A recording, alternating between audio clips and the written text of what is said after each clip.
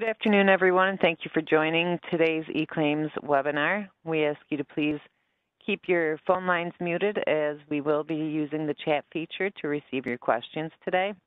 Please enter your questions throughout the presentation in the chat box located on the right side of your screen. Use the drop-down to send your questions to the panelists. You can also hover to the WebEx tab at the top of your screen and click on chat. We will answer as many of your questions as we can, but if you have any questions that we don't get to today or think of something after the session ends, we will be providing you with the resources at the end of the presentation.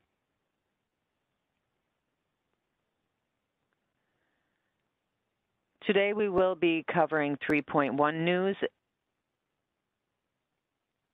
and 3.1 changelog updates. We will also take questions at the end of the webinar. First, we, we will review eClaim's recent news since October, since the October webinar.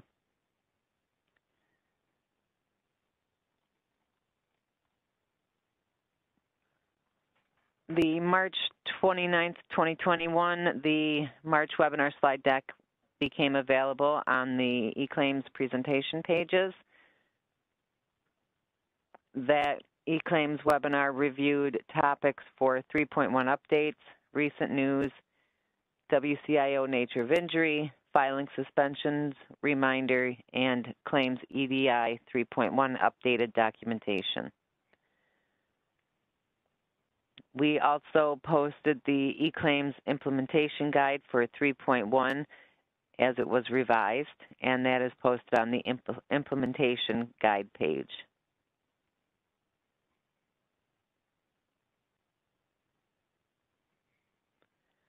As reviewed at the February eClaims Trading Partner webinar, the 3.0 FROI UR event is effective July 6, 2021. It was published in the 3.0 change log back in January of this year.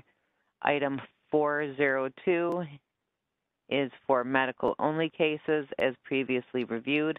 The FROI-OO is acceptable instead of the UR. This event does carry over to the 3.1 event table. The next few slides are regarding, are regarding updated 3.1 documents. The implementation date has been changed to January 24th of 2022 the 3.1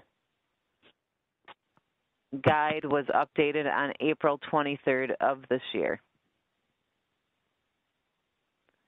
I will now pass it over to Kim to go ahead and review the next few slides. Good afternoon, everyone.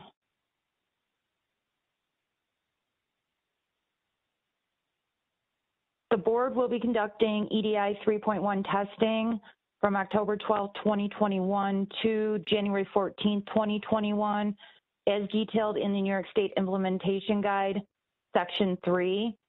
It is recommended that trading partners familiarize themselves with the IAIABC 3.1 standard, and we also highly recommend that you attend at least one training held by the IAIABC. You can find information on those training sessions on the IAIABC's website.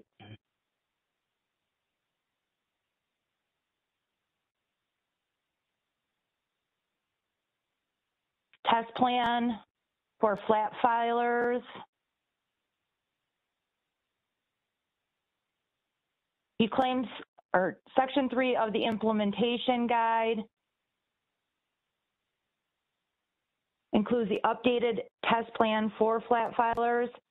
The required test will include a single data file for FROIs only, two data files for FROI and SHROIs, single data file for SHROIs only, and one or two data files for FROIs and or SHROIs as needed. During the test period, flat filers, flat filers will upload the test files as, as specified to the board's FTP server, and once the file is uploaded, you must notify eClaim support at eClaimsupport at wcb.ny.gov that that file has been uploaded.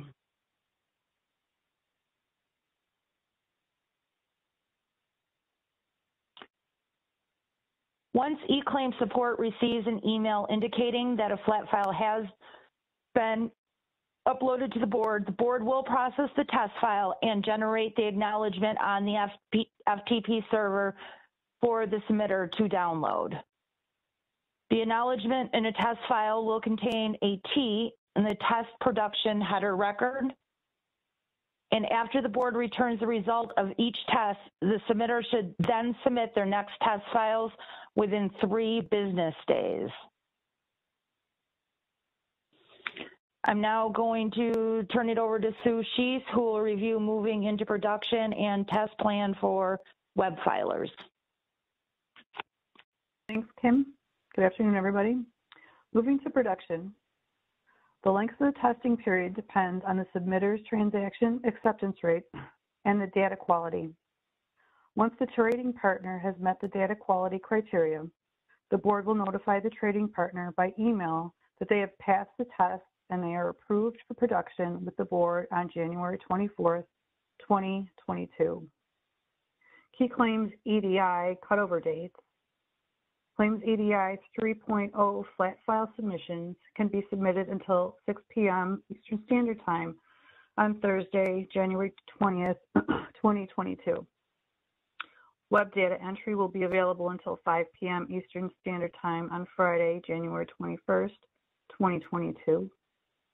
eCase will be available until 5 p.m. Eastern Standard Time on February on Friday, January 21st, 2022.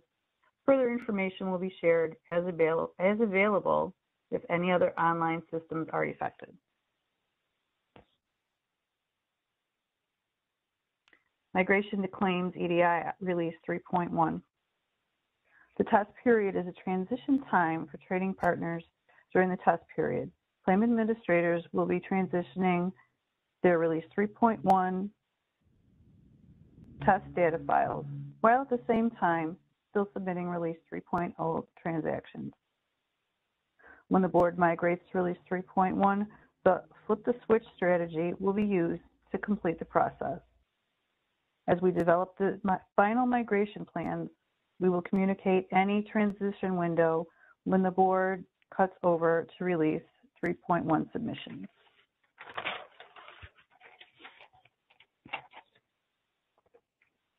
Web data entry testing. Organizations that have already been approved to submit through the Web Data Entry application and Claims EDI Release 3.0 will be provided the opportunity to access a separate Claims EDI Release 3.1 test environment.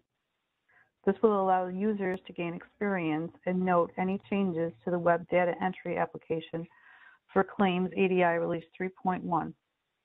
All existing organizations will have production access regardless of whether they use the Release 3.1 test environment. New trading partners must participate in a formal training process. This process includes a test plan made up of entering data into the web data entry application. All submitters must complete all mandatory tests to be approved to submit production data files. Before we conclude today's presentation, I want to make sure you're aware of the methods to stay informed on eClaims news and upcoming engagement opportunities, you can visit the eClaims website at wcb.ny.gov to stay up to date on eClaims news. You can also sign up to receive news straight to your inbox. This is how we will be com communicating future engagement opportunities throughout the course of the BIS project. Visit the eClaims site and select WCB notifications within the eClaims overview section. Questions, comments, and feedback on the eClaims EDI 3.1 upgrade can be emailed to eclaims31 at wcb.ny.gov. Questions regarding existing eClaims EDI 3.0 should continue to be sent to the eClaims at wcb.ny.gov mailbox. You can also follow the board on Facebook, Twitter, Instagram, and YouTube. A recording of this webinar is going to be placed on our YouTube and eClaims website, as well as FAQ spawned from the questions being asked during this webinar series. So keep an eye out for these resources as well as a follow-up email and survey.